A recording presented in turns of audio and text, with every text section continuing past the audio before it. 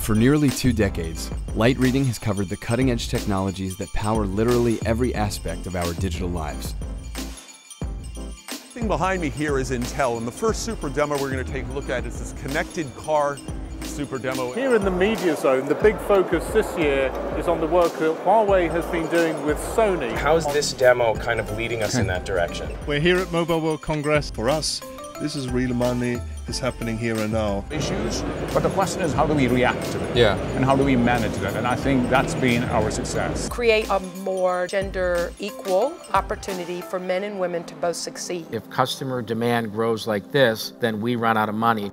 From trade show floors to the guts of data centers, our experienced team of journalists and video producers are there to provide in depth analysis to our audience.